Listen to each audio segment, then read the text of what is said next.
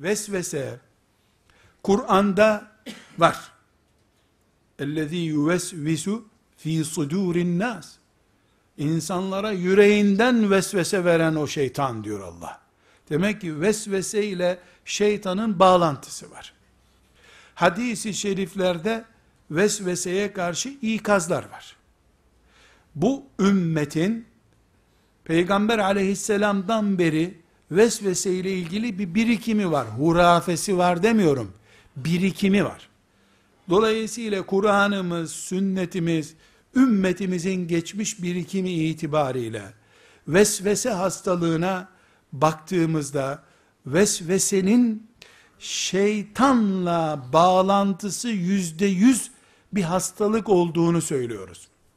Burada kardeşler, şeytanla bağlantılı olmak, beyinde bir eksiklik yok. Psikiyatrinin dediği gibi, şeytan geldi bir gece şırıngayla bunu bu adama soktu anlamında değil.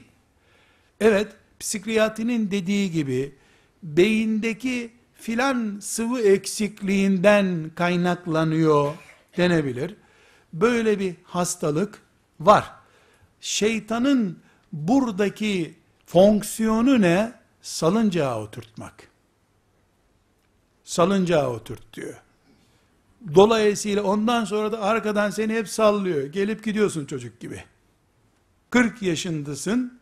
3 yaşında bebek gibi parkta sallıyor seni. Gel git lavaboya, gel git, gel git.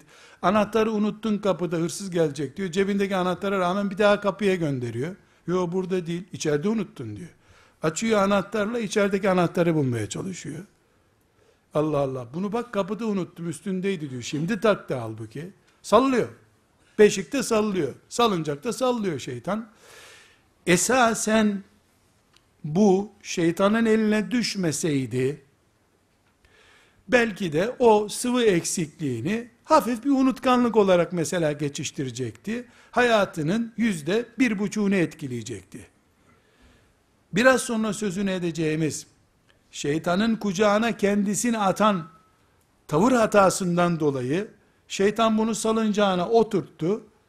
Bu yüzde bir hayatını etkileyecek şeyi yüzde altmışlara çıkardı. Yüzde seksenlere çıkardı. Karım beni öldürecek diye polise ihbar etti. Yahu nereden senin karını öldüreceğine eline bıçak aldı diyor. Çağırıyor polis kadını. Eline bıçak aldın mı? Aldım tabi diyor. Niye aldın? E, domates kesecektim diyor. E bu adam beni öldürecekti diyor. Mutfakta domates kesecektim diyor. O da camdan görmüş eline bıçak aldı. Tamam beni öldürecek diye karakola kaçmış. Vesvese şeytanın salıncakta salladığı bir hastalıktır.